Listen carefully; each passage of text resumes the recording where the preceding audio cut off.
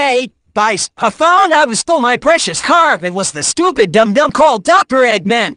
Now that I know he stole my car, I'm filing a report to court against him. Thanks for being with me in this troubling situation, guys. You are the best.